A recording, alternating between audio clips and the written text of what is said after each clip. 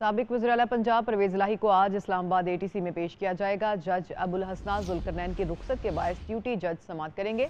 मुलजिम परवेज लाही को ज़िमनी बयान की बुनियाद पर मुकदमे में गिरफ़्तार किया गया था। गुजशत समात पर अदालत ने हक जानने के लिए मुलजिम को दो रोज़ा जिसमानी रिमांड पर पुलिस के हवाले किया था।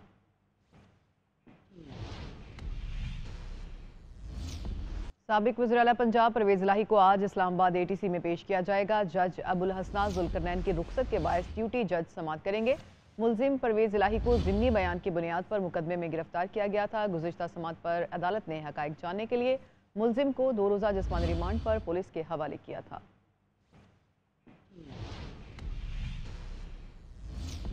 सबक वजी पंजाब परवेज लाही को आज इस्लामाबाद ए टी सी में पेश किया जाएगा। जज अबुल हसना जुलकरनैन की रुख्सत के बायस ड्यूटी जज समात करेंगे।